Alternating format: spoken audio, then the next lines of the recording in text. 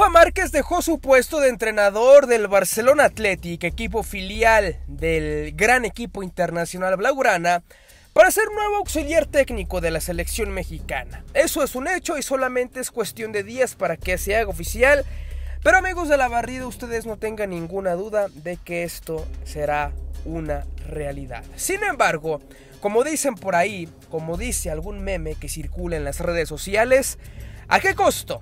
Lo de Rafita Márquez, vaya que es algo pesado, vaya que es algo pocas veces visto y que sin duda alguna será un bombazo mediático. Sí, pero también quizá un problema financiero a largo plazo. Hoy les vamos a revelar el misterioso contrato que tiene Rafael Márquez como auxiliar y futuro técnico de la selección mexicana y como dicen por ahí también van a quedar con el ojo cuadrado. No se despeguen de su pantalla que ya arrancamos aquí en la barrida.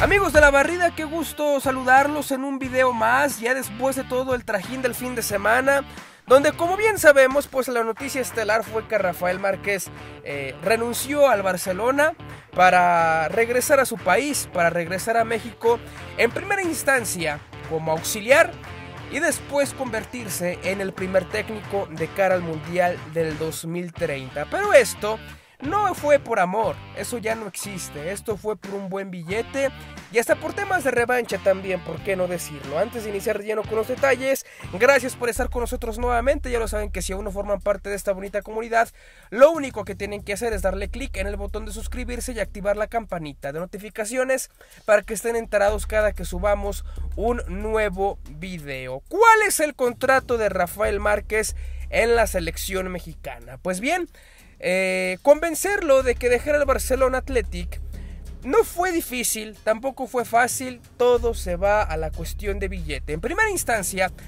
los directivos de la selección mexicana tuvieron que pagar 3.2 millones de euros al Barcelona para liberarlo de su contrato. Un Rafael Márquez que tenía pocos días incluso de haber renovado su estadía con el conjunto catalán, por lo que le salió caro 3 millones de euros euros aquí. Estamos hablando de casi 4 millones de dólares. Eh, eso fue la cantidad que en primera instancia se pagó por Rafael Márquez. Ahora, escuchen con atención el sueldo que tendrá Rafita en la selección mexicana, primero como auxiliar y después como técnico de la selección mexicana. ¿Cuál fue la promesa que le hicieron a Rafa para convencerlo? Como seguramente muchos se acordarán, amigos de la barrida, hasta hace no mucho tiempo, eh, Márquez sonó para sustituir a Xavi como entrenador del Barcelona. Finalmente, eh, por algunas cuestiones no se logró y nombraron a Hansi Flick nuevo entrenador culé. Pero la selección mexicana investigó qué salario le iban a dar en el Barcelona y esa cantidad es de 4 millones de dólares, como lo están escuchando.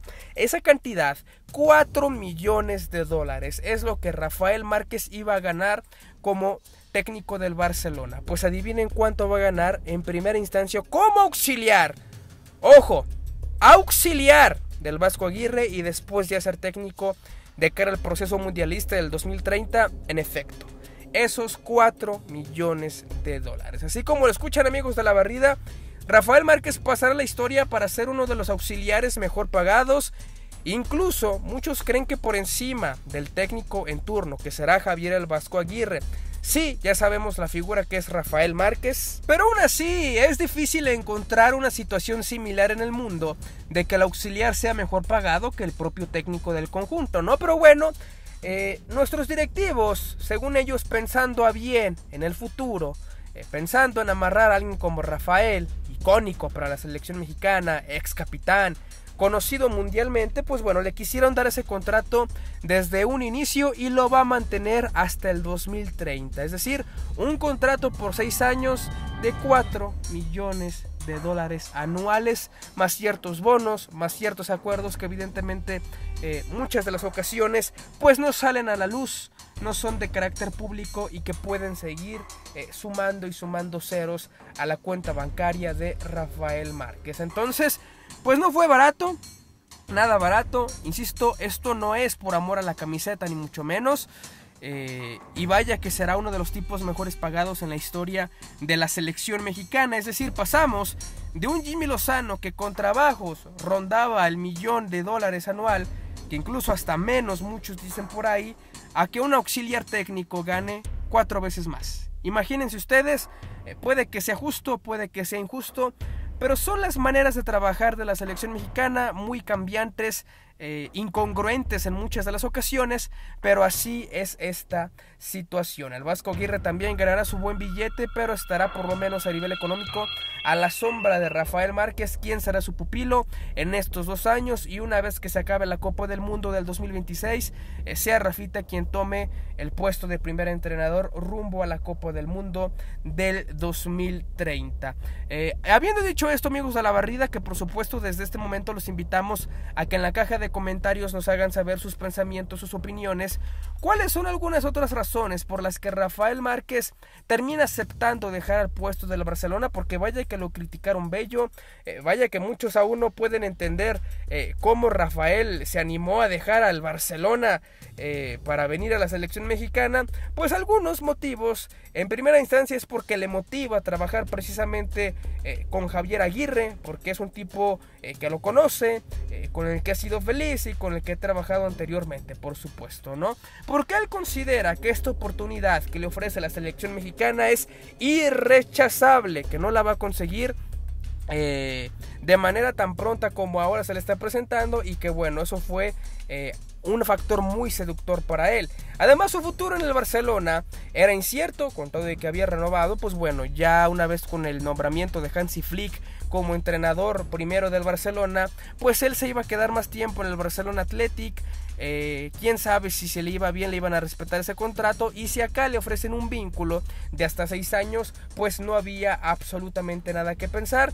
Eh, finalmente, porque bueno, eh, cree que es un paso adelante en su carrera, cree que por algo pasan las cosas, que este famoso tren solamente pasa una vez. Y algo que le dolió mucho a Rafita en el Barcelona fue que criticaron su ambición. Quizá muchos se acuerden cuando Rafa en una conferencia de prensa aceptó que sí le gustaría o le hubiera gustado tomar el puesto de Xavi como entrenador del Barcelona, pues muchos lo criticaron, le dijeron que bueno, que era poco leal de su parte y también por eso influyó que no le dieran ese puesto que tenía Xavi. Así que bueno, ahí algunos de los motivos, sin olvidar por supuesto, ojo amigos de la barrida, antes de despedirnos, y para los que se quedaron aquí hasta el final del video se van a enterar, Rafael Márquez tiene una cláusula secreta también en su contrato, ¿cuál es? que con todo y los millones que gana, que con todo y lo consentido, lo apapachado que va a estar, ¿qué creen? Tiene una cláusula que le permite salir a cualquier club europeo, si él así lo desea, por una cantidad mínima. No se revela qué cantidad, pero por una cantidad mínima. Así las cosas, amigos de la barrida. Uno de los mejores contratos para alguien a nivel selección y ese es para Rafael Márquez. Ya ustedes en los comentarios nos dirán si están de acuerdo con esta situación.